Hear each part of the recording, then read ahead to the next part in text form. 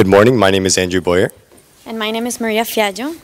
Uh, together, we are Project Sweet. Uh, we're really excited to be here today to share with you our uh, solution for transport transporting and, and, sterilizing water in impoverished communities. So, in the United States, we have the luxury of accessing clean water wherever and whenever we want it. Um, unfortunately, communities around the world, over 2 billion people, more than a quarter of the world's population, lacks access to safe drinking water on a regular basis.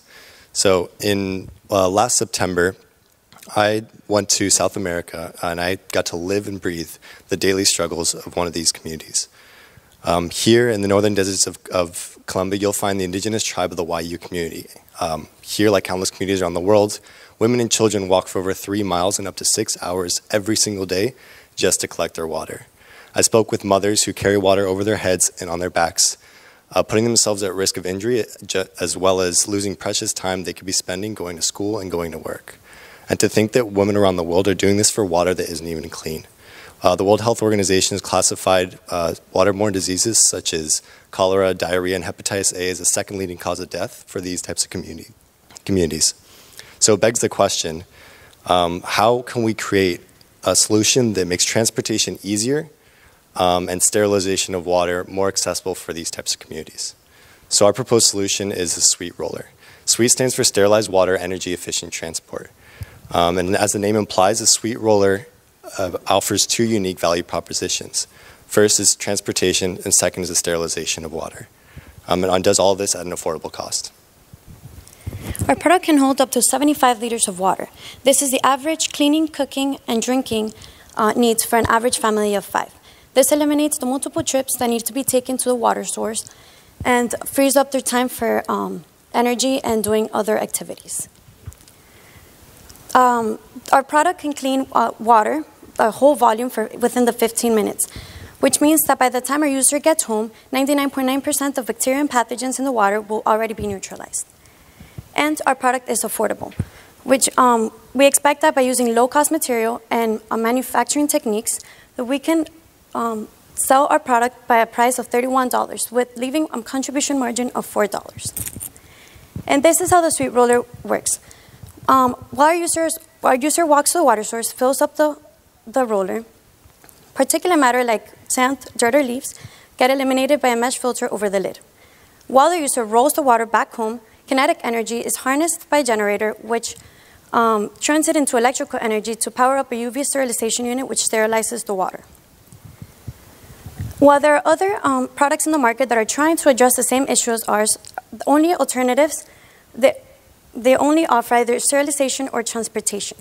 So with your help, um, we hope to make the lives of these impoverished communities sweet. Thank you.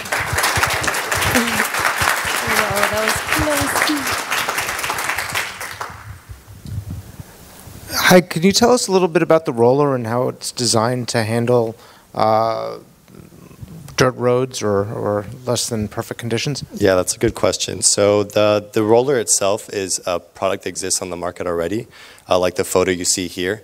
Um, it's built with a really robust material, a type of plastic that's UV treated. Um, so it can withstand the bumps and bruises of going through these types of terrains. It's also uh, easy to roll around because you actually feel one ninth of the weight that you're carrying. So a woman or a child could carry this. Um, our innovation is adding the, the cleaning component and using that already existing behavior of rolling and carrying the water back to your home to actually power something that's going to make the water um, potable. How many uses does one of these get? Like how, how many trips back and forth? Yeah, so like the, I mean, the, the, the plastic itself is not a limiting factor. Um, I think the limiting factor will be the UV sterilization unit, actually the UV LEDs that are inside, but they do have a lifespan of about seven years. So um, we can expect that these will run for at least seven years.